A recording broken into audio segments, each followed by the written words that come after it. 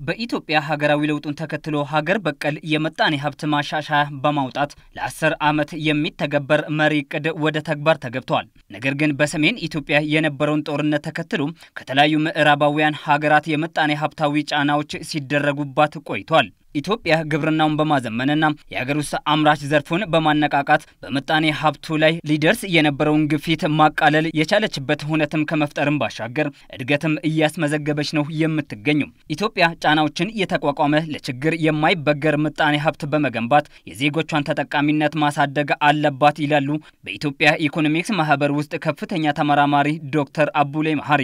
እንደ ዶክተር አቡሌ መሀሪ ገለጻ ደካማ የሆነና ምጣኔ ሀብታዊ ተጠቃሚነቱ ያልተረ ገጠን ህዝብ ያለው አገር ጠንካራ የምጣኔ ሀብት ዲፕሎማሲ ሊኖረው አይችልም ይላሉ።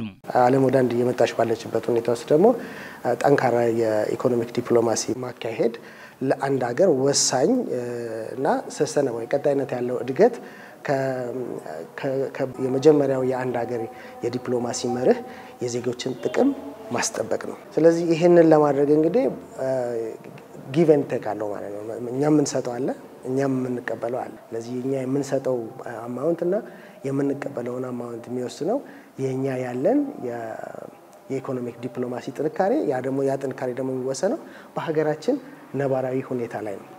ለፖለቲካዊም ሆነ ለማህበራዊ ጥንካሬ ቅድሚያ ጠንካራ ኢኮኖሚ አስፈላጊ ነው የሚሉት ከፍተኛ ተመራማሪው ኢትዮጵያ በየትኛውም የዓለም ሀገር ተፈላጊ እንድትሆን ጠንካራ ኢኮኖሚ መገንባት ግድ ይላታል ይላሉ። የራሳችንን ፍላጎት ማስጠበቅ የምንችለው የራሳችን stand ነው የሚወስነው ማለት ነው።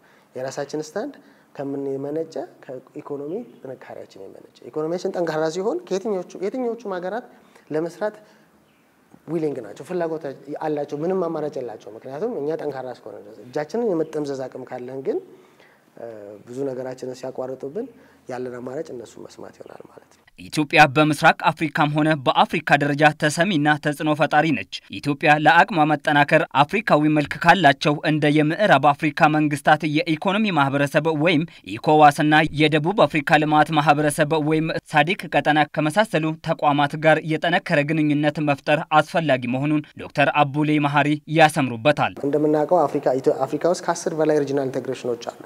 ኢኮዋስን ጨምሮ ኮሜሳ ሳዲክ region አለ። ትንሽ strong የሆኑት እንግዲህ ቅድም እንዳልኩ አንተ ኢኮዋስና ሳዲክ አካባቢ ያሉ ሀገራት የተሻለ integration አላቸው። እኛ የብዙ የሶስትና የአራት member ነን፣ ግን በየትኛውም የ regional integration ውስጥ ያን ያህል ተጠቃሚዎች ስንሆን አይታይም። ኢትዮጵያ ጠንካራ ሀገር ሆና ብትወጣ ፓንአፍሪካኒዝምን ከማቀንቀንም ባሻገር በሌሎች በርካታ የአፍሪካ ሀገሮች ውስጥ ተሰሚነት አላት። ሁለተኛ ነገር ኢትዮጵያ political ና geographical advantage አላት። ኢትዮጵያ በአፍሪካ ተምሳሌነቷንና ተጽዕኖ ፈጣሪነቷን የበለጠ ሊያጠናክሩ የሚያስችሉ ስራዎች እየሰራች ትገኛለች ያሉት ከፍተኛ ተመራማሪው ዶክተር አቡሌ መሀሪ ይህንን አጠናክሮ ማስቀጠልና ውስጣዊ አንድነትን ማጠናከር ያስፈልጋል ሲሉ ይመክራሉ። ጀመርናቸው የተሰሩ ያሉ ስራዎች አሉ። ያንን አጠናክሮ መቀጠል ያስፈልጋል።